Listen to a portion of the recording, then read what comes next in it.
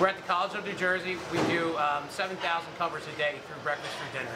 We're open from 7.30 in the morning till 9 o'clock at night. It started out with basic need. We had old trade carts, uh, trays, everything was spilling. However, we, went, we saw this design, decided to go to it's more efficient, um, less labor. Uh, we were able to hold up to 200 trays and uh, each individual slat holds up to 200 different pieces, so just more efficiency. Um, 7,000 covers a day. You know, we need to know we have a full piece of equipment that's going to provide us with our with our daily use. It fit our idea and our vision, our goal, and that's why we went with the accumulator um, and the whole dish machine